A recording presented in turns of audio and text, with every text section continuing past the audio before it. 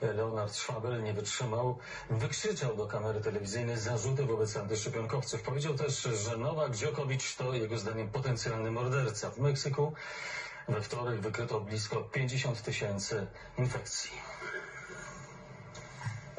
Malditos antivacunas, imbéciles, de el maldito cubrebocas y dejen de estar fregando al mundo. Si tú, antivacunas, eres un imbécil, ponte el cubrebocas.